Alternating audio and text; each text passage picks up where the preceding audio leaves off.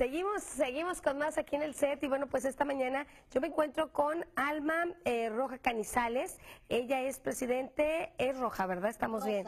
Rosa, Alma Rosa, perdón, Alma Rosa Canizales Pardo. Ella es presidente del Club de Liderazgo Internacional de Ciudad Madero y también me encuentro con Raquel Sánchez, ella miembro también de la mesa directiva. ¿Qué tal? ¿Cómo están? Bienvenidas las dos.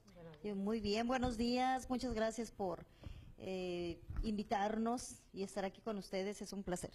Platíquenme acerca de esto. Yo preguntaba antes de entrar al aire, bueno, a ver, esto de liderazgo eh, internacional, la invitación o este evento próximo que se llevará a cabo, de pronto es convocar a estudiantes, a toda la gente que quiera formar parte de esta agrupación, pero ¿qué, qué se necesita? ¿Cuáles son los requisitos? ¿Todos podemos perfilar? Son muchas cuestiones que hay.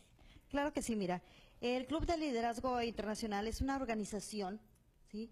en la cual estamos agrupados en Ciudad Madero, en Ciudad Madero, Tamaulipas, sesionando una vez a la semana de 7 de la tarde a 9 de la, de la, de la tarde, de la noche, eh, con el propósito de invitar al público en general a pertenecer y a ser, a ser socio de este club de liderazgo.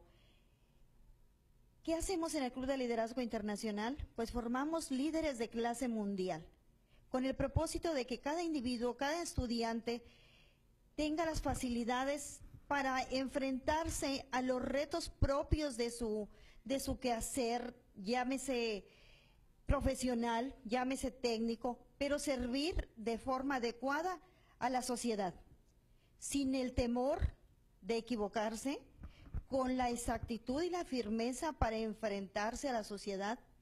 Entonces, en este club formamos de manera adecuada con los, con los libros y manuales que el mismo Club Internacional nos proporciona para, para lograr el éxito, lograr ser certificados por la Secretaría de Educación Pública, ¿sí?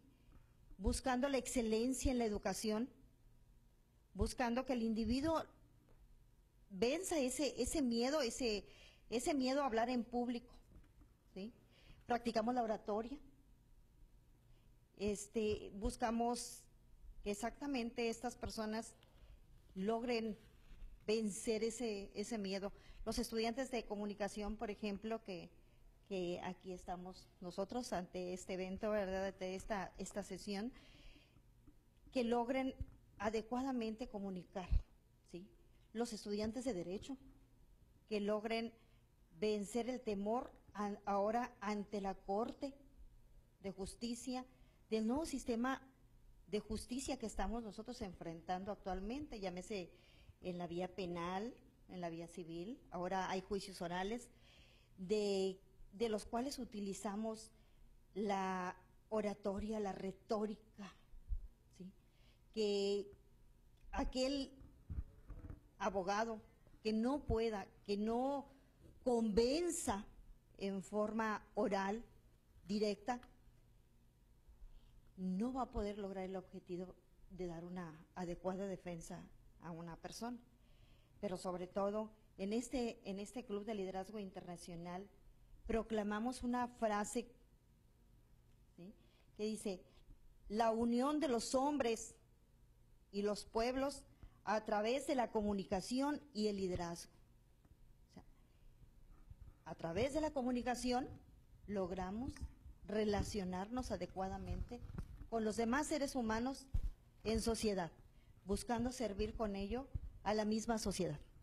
Muy bien, pues creo que queda bastante claro. Eh, por aquí, Raquel, cuéntame en cuanto a, eh, hablan de, bueno, pues romper todos esos paradigmas y las barreras que no permiten una comunicación fluida y objetiva. Ustedes tratan de que a través de la seguridad misma, a través de reencontrarse, porque a final de cuentas todos tenemos un líder, pero a veces no lo descubrimos o no sabemos cómo canalizarlo. Ustedes se encargan precisamente de descubrir, pulirlo y obviamente desarrollarlo. Así es, todos los martes de 7 a 9 estaremos en Sonora 305 entre Sarabia y Pedro J. Méndez, eh, a un anexo del Hotel María Elena. Ahí los esperamos. y realmente estamos muy este, abiertos a todo el público para que asista y, aprenda un poco más de lo que es liderazgo y oratoria. Muy bien, pues muchísimas gracias a las dos. Les esperamos pronto, Alma Rosa Canizales y Raquel Sánchez. Gracias por la invitación. Nosotros, mientras tanto, continuamos con más aquí en el set. No se vayan.